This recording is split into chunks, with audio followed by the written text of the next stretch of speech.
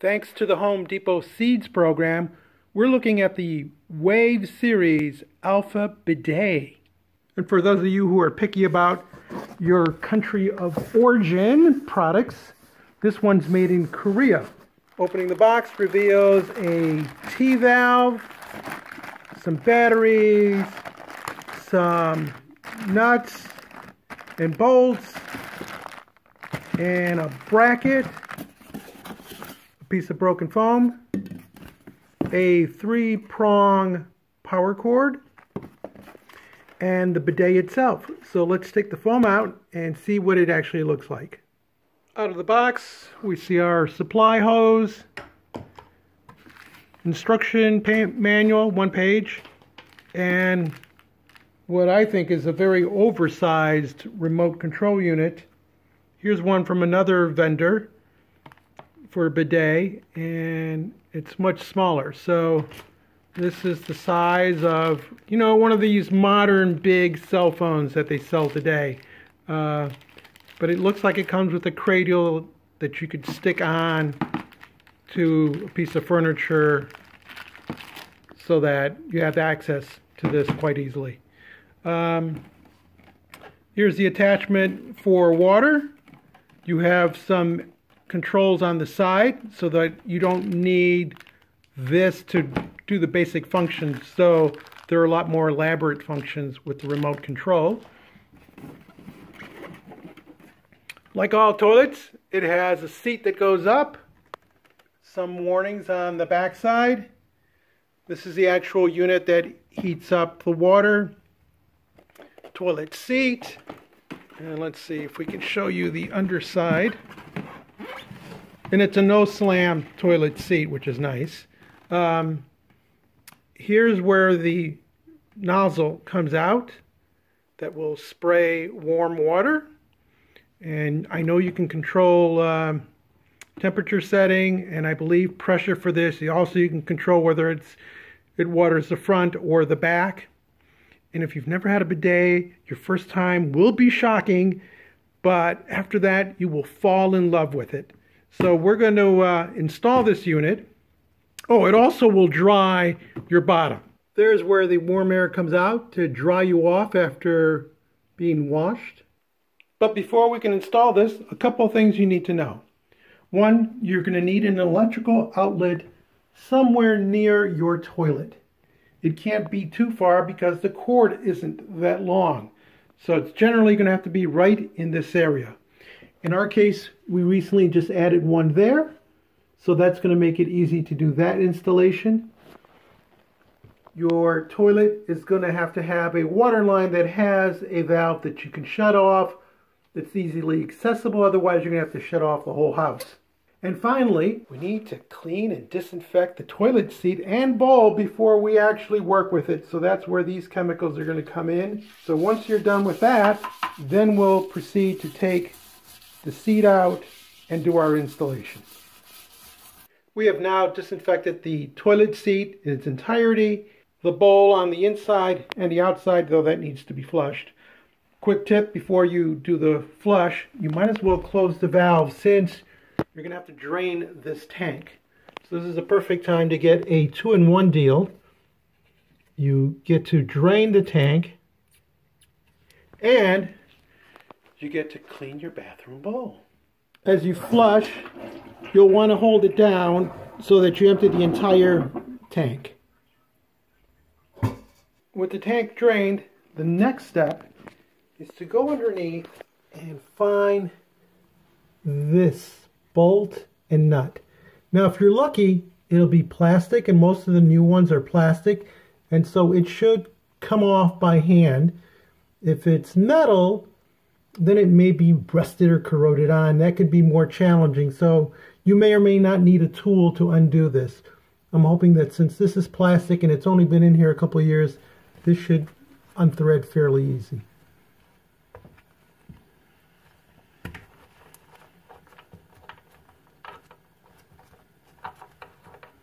Sometimes if you go to tighten it, then try to loosen it, it'll help it break loose. And there we go. One down, one to go.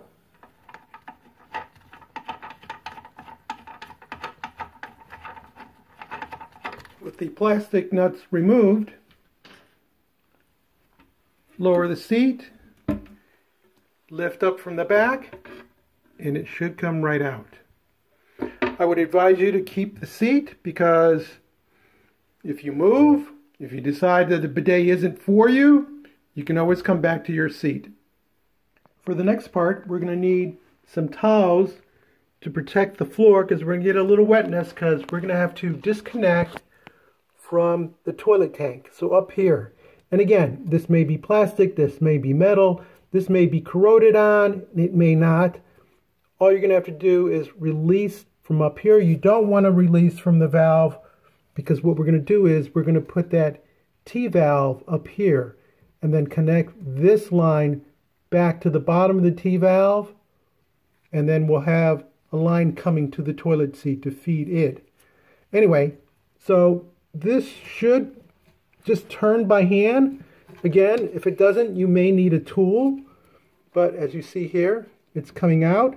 And yes, there is some residual water. And that's why it's important to have some towels. Otherwise, you may have to face the wrath of the missus. And we know how that can be. Here's the T-valve. This end is going to go towards your toilet tank, but it needs this little gasket, and you see how it's sort of a cone? One side is narrower than the other. That narrow side needs to go face up towards your tank. And then no Teflon is needed. You just hand tighten this. Make sure that the side is pointed forward.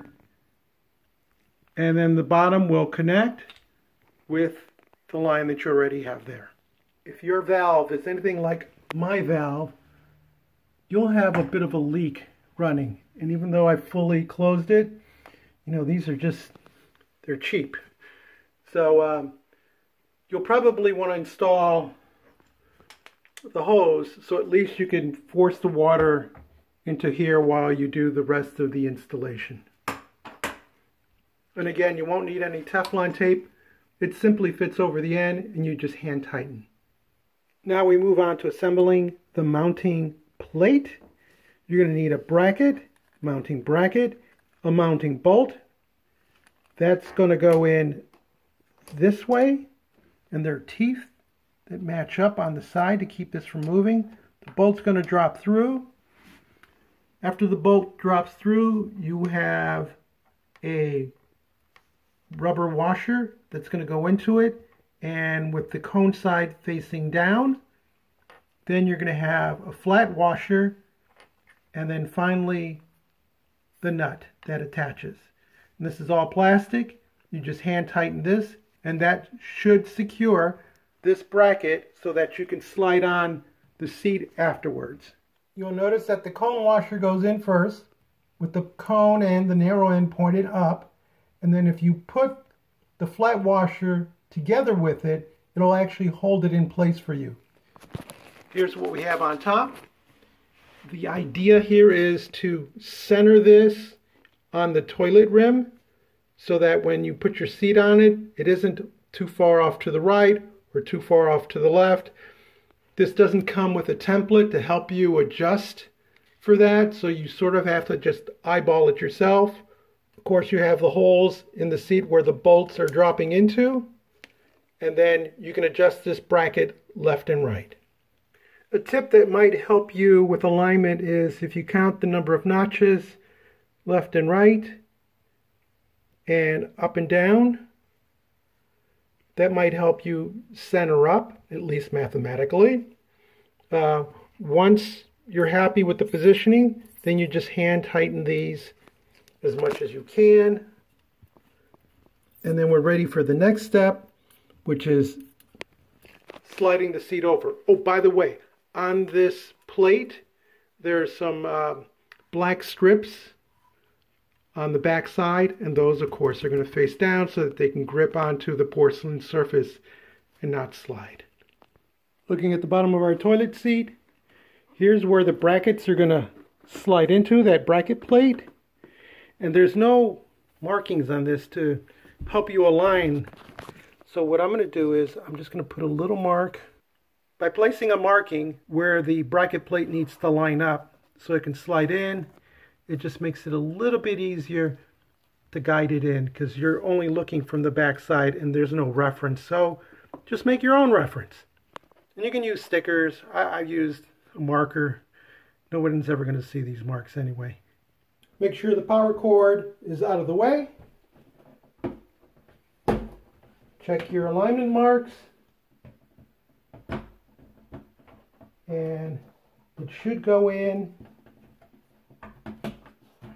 and you should hear a click.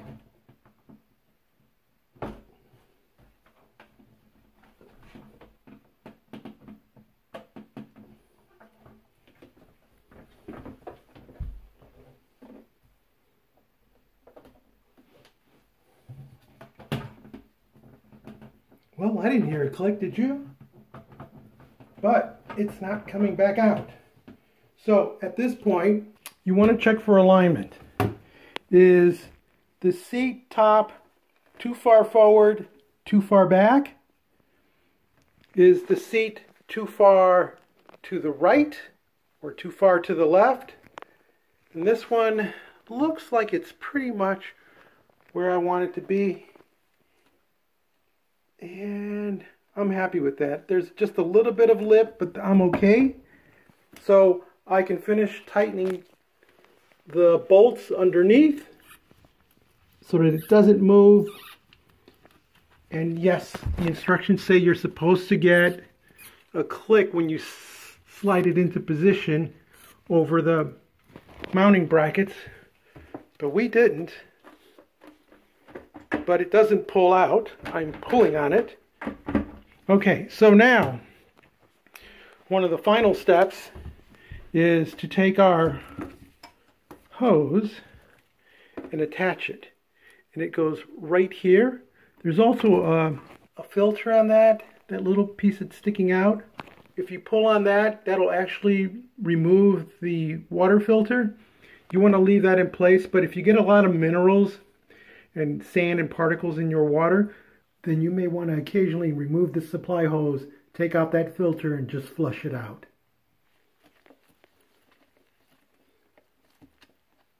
This will tend to want to fly out. We can control that by loosening the connection and turning the hose in the opposite direction so it comes up against the bowl and then tightening this because these are two separate pieces. So you can make that adjustment. I'll need two hands to do it. With our connection tightened, there, there, there, we are ready to turn on the valve or in this case, it's been leaking, so we're just going to open it up some more. And we hear the water starting to flow into the tank. At this point, we're going to look to see if there are any leaks. And if there are, we simply just tighten the connection. Unfortunately for me, it doesn't leak here, here, here, or here. It's leaking down here. So I'm going to have to replace that valve. It's a PEX line coming in, so, you know, it's a run to the big box store. It's a pain in the butt. But everything else is not leaking. That's good. Let's plug this in. Power cord feeds off the right side. You have about four feet of cord to plug in. We're going to insert it in. You heard it make a beep. Water's coming into the reservoir. Yes, there's a little reservoir there where the water warms up. There's also a seat warmer that you can set.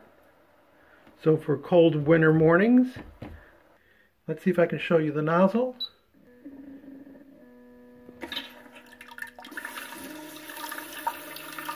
That's the nozzle that comes out to do the washing. Right now it's going through a self-cleaning mode. But it is able to oscillate and spray both your front and your back, not simultaneously, but as choices. Things to know about the remote control. It takes three AA batteries that go in this little knockout here. Uh, batteries are included. There's a caddy which you can screw onto the wall or you can tape. The remote slides into the caddy and is held in by the, these tabs at the lower bottom. So I've seen other units where they actually use a magnet to help secure it in place. Uh, that would have been nice. Again, it's a big unit, so here, here's it's almost as big as the toilet roll dispenser, toilet paper dispenser. Of course, you know, if you're using a bidet, maybe you don't need one of those anymore, and it could go right here. Some of the features, the stop button. You'll want to know where that is the first time you use this because if you've never been on a bidet, you'll probably hit stop until you get used to it. Second or third time, you probably won't. Rear. That's for most people when they go into the bathroom and need to be clean. It's the rear button. If you go to rear plus, that's more powerful spray. Oh, by the way, if you hit rear and then you hit it again, the valve will oscillate. So it'll do kind of front and back of the back area. And then there's a front button. This is for the females.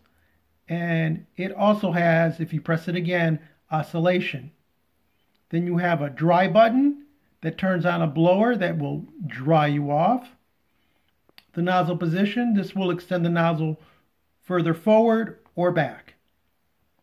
Then you have the pulse, which if you're sitting on the toilet, it will cause the water to pulse. If you're not sitting on the toilet, it'll cause the LED light to come on or off. There's child mode, which provides lower temperatures and lower pressure. There's the nozzle cleaning mode. If you push this, the nozzle will clean itself for about three minutes. And then there's a power saving mode. Finally, on the far right side, we can set our seat temperature. It cycles through five different settings. Same for the water temperature. Then to the left of that, we can set spray pressure, five different settings, and the air dry temperature, five different settings. The remote lets you operate everything from the comfort of your lap or from its handy wall caddy. On the side of the unit, you can manually control the rear washing, you can stop it, and you can apply power and do the power saving mode. This is just a pickup sensor for the remote. And for those of you who are wondering about the valve, I didn't have to replace it. I simply tightened this nut here and it stopped leaking. Why would you want a bidet as opposed to using that to clean yourself all the time? Well, one reason is that you don't need that to clean yourself every time if you have a bidet. It actually washes off that area that needs to be cleansed with warm water at temperatures you select, and it'll even dry you off afterwards. If you desire, you're still free to pat yourself dry with toilet paper.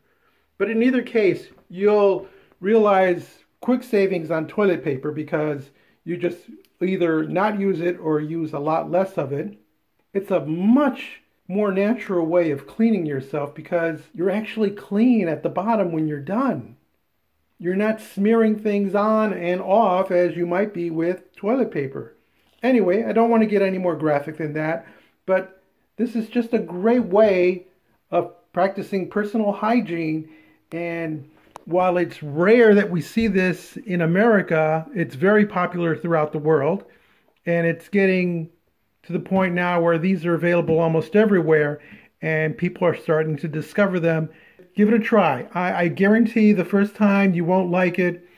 The second or third time, by the fourth time, I guarantee that you'll be a convert to the bidet and you won't go back to that old fashioned toilet seat. Some pros and cons to this bidet. First one, it's very easy to install. Didn't have any problems with it. You just got to make sure that you have an electrical outlet that's within four feet and that you have a way of shutting off the valve so that you can install the hose lines and the T-valve. No tools are necessary. Again, makes it really easy.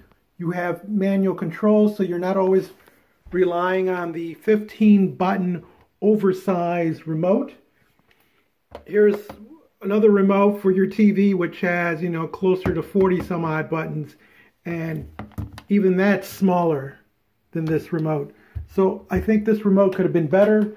It just makes it kind of clunky and awkward to reach because you're limited to where you can put stuff in a bathroom to begin with. And it's just too big and it's too horizontal. And the fact that this cradle, if you want to take it out, you have to move it up and out. It's not like magnetically held in place. Not a good thing. Besides not liking the remote, I think the back lid cover just seems way too high. And I have a different bidet in which it's hinged further forward so the height isn't as severe. You know, it's just a visual thing, doesn't affect function, but I prefer it if it was a little lower. I also find because of that, that this thing looks visually not great. Looks like a big hunk of plastic is in the way. It's obviously all concealed when you close the cover, which is a nice thing, but when it's open, it's just not the prettiest bidet in the world. Functionally, it does everything you'd want it, and you get premium features like the ability to set it for children, which I think is great. That's lower temperature, lower water pressure. Besides the child's mode, I also like the fact that it has a nozzle cleaning function. My other unit, when you hit the clean function, the nozzle comes out and you physically have to clean it. This one actually washes itself, though you might want to disinfect it occasionally, but still it'll wash itself for three minutes and I think that's a, a really nice premium feature for this product. Uh, what I don't like is again this interface, it's just a little bit too complex especially for guests and visitors who are new to a bidet or to the Alpha bidet. Another pro, the no slam seat and lid. Don't know if you can see it on camera, but the LED light actually flickers, which can be annoying, but again, how much time do we spend staring at the bowl? If you found this interesting or useful, give us a thumbs up, leave us a comment. Join the subscription team and help keep commercials out of these videos. And as always, thank you ever so much for watching.